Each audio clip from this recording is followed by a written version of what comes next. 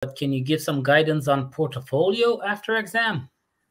Okay, so that's it's it's it's not so hard. You just basically have to um, let them know what you've been doing for the past couple of years. So if you're a pharmacist for five years or whatever it is, you can just basically submit reference letters from your previous employees, employers, and you can um, write up. You can even write, do a write up of exactly what you're up to uh, before you decide to register in Ireland.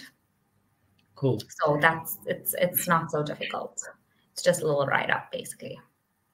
Now, this one is a very, very beginning um, question. Like I get this hundreds of times. Um, but I'll let you answer it like brief, very brief steps. How do you get registered in as a pharmacist now? Because we, we're going to have people watching the recording asking as well. So just small steps. Okay, so the first step is to send an application